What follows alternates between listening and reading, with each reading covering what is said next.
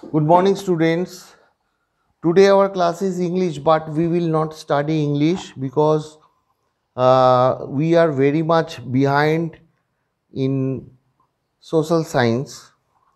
So we will study social science unit number 2 the Delhi Sultanate. You please open your uh, PDF file that has given to you from school. I am reading from there. Let's start.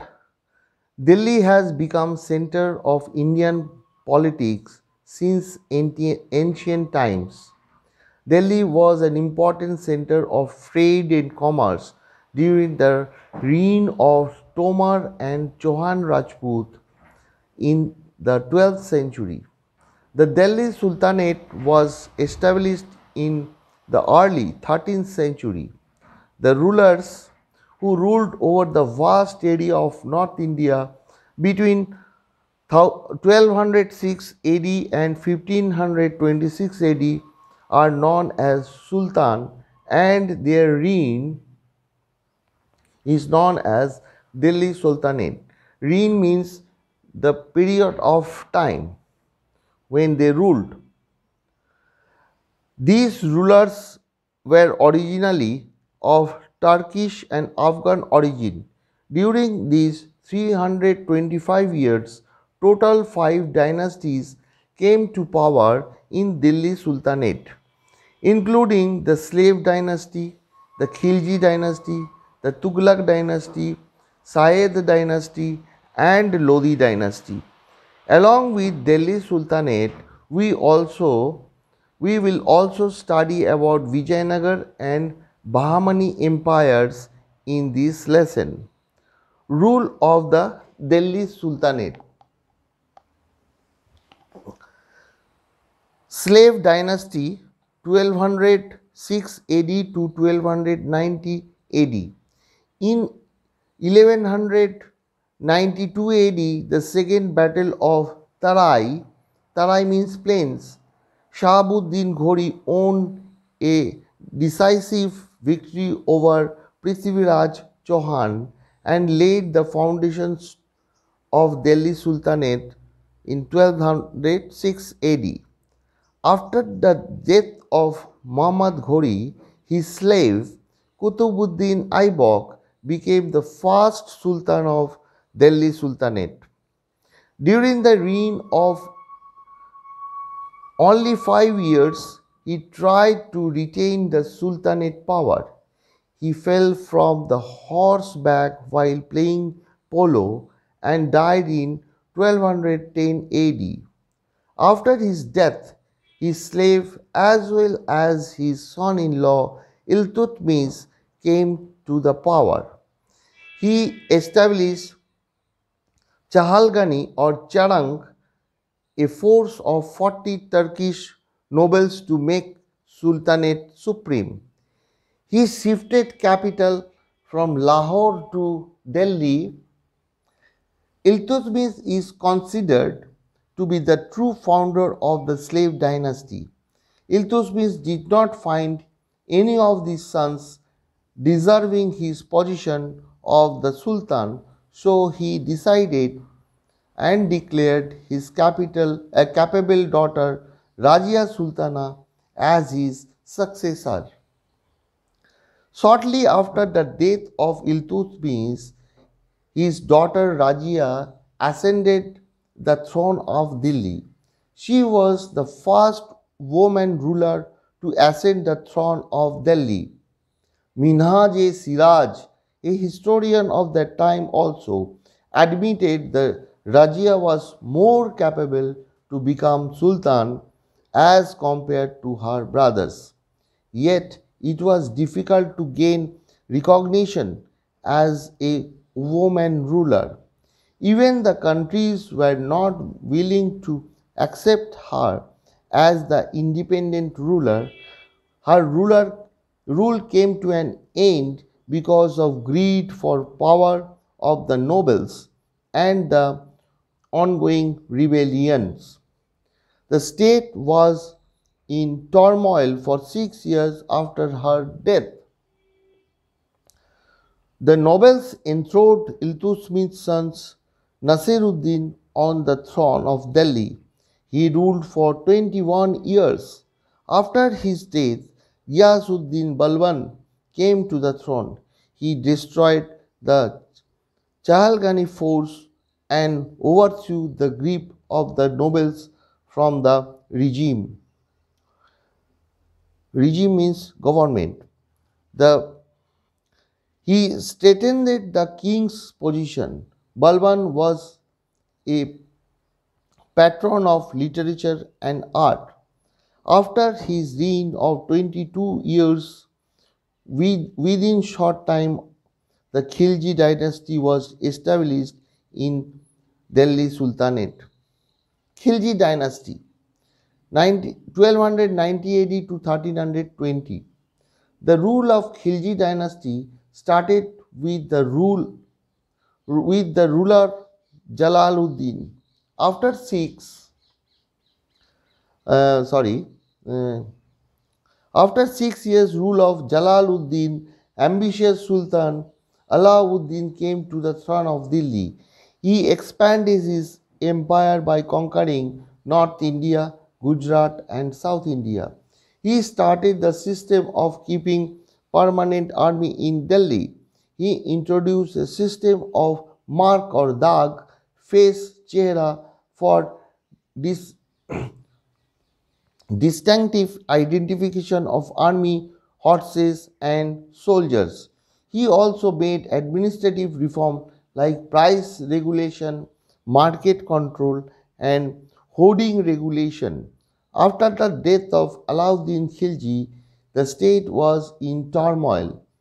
Ghiyasuddin Tughlaq was one of one who ended the Khilji dynasty and started the Tughlaq rule from the throne of the Delhi. Tughlaq dynasty 1320 AD to 1414 AD. During the Tughlaq dynasty, Muhammad bin Tughlaq was one of the most talented sultan. He implemented some schemes during his rule, in, including re- recollections of the capital from Delhi to Daulatabad, symbolic currency experiment, etc. Most of the scheme failed due to lack of practically as well as lack of planned implementation.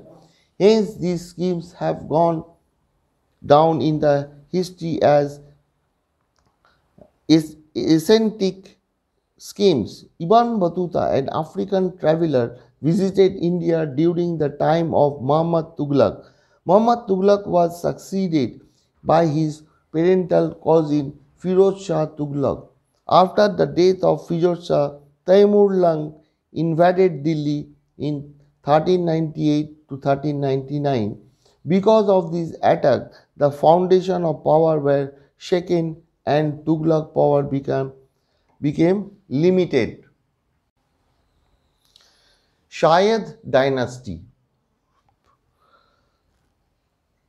1451 AD to 1526 AD. After the end of Tughlaq dynasty, Shiraj Khan established the Sayyid dynasty. After the Sayyid dynasty, Bahlol Lodi established the Lodi dynasty. Bahlol was the first Afghan ruler of the Lodi Sultanate. The last emperor of the Lodi Sultanate was Ibrahim Lodi. He was defeated by Babur in the first battle of Panipat in 1526 AD and Sultanate era came to an end of, and Mughal rule started. State administration. The Delhi Sultanate, which was established in 13th century, was unique in terms of state governance. The Sultan was the center of Delhi Sultanate. The power of Sultan was paramount. He also the supreme commander, the supreme head of executive, and the supreme judge. There was a cabinet to help the Sultan. Cabinet ministers and officials were appointed by the Sultan himself. The Sultanate system was divided into three sections, namely central, provincial, and local. Central rule. The cabinet was the chief after the Sultan. The Sultan's chief minister was called the Wazir, who was the head of administration. Besides these, the cabinet consisted of army, postal department, religious department, foreign affairs department, intelligence department, etc. Thus, more or less modern cabinet-like arrangement was seen at this time. Things to know, during the time of Alauddin Khilji, the postal system came into existence to fulfill government requirements. Runners carried royal messages and orders. These runners were in all the important centers of the state. In this way, it can be called the initial version of the current postal system. Provincial rule. During the Sultanate, the province was divided into Jagirs, which were called Iktas. The head of Iktas were called Iktadar or Mukti, who was the head of the executive and the judiciary of the province. His job was to provide army to the Sultan whenever needed and to collect the land, land revenue. However, in the time of Alauddin Khilji and Muhammad Tughlaq, the central army was given importance and control over Iktadar was established.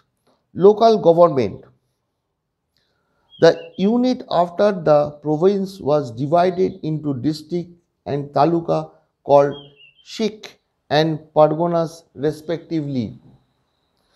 The village administration was headed by the Mukhi or Mukadam and the clerk and Patwari helped him.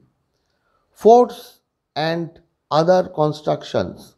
The establishment of Delhi Sultanate marked the beginning of the construction of Indo-Islamic style architecture in India. During the Sultanate period, significant works of architecture like forts, mosques, tomb houses, gardens, gates, minarets, etc. were constructed. A mosque named Quwat ul Islam was built in Delhi during the time of Kutubuddin Aibak.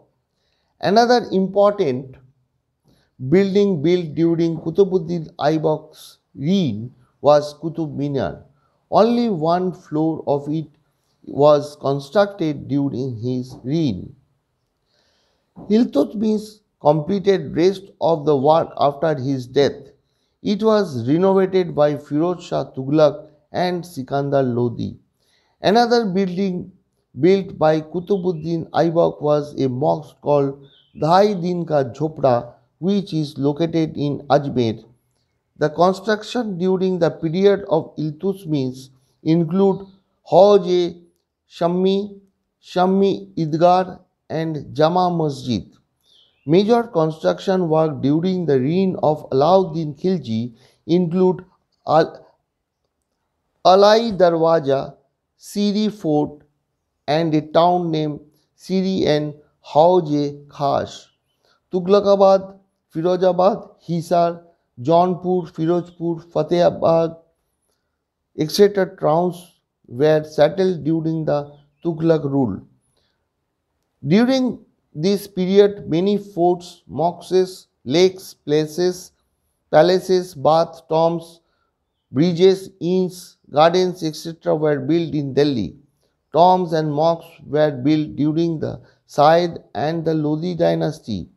Buldenkhand Dan, Dome, um, Gombuj, mosques, mosque, Shahabuddin's tombs were the major ones among them. So here I read up to uh, the Sultanate region, uh, regime Next chapter we will study Vijayanagar Empire Okay, see you in next class. Thank you.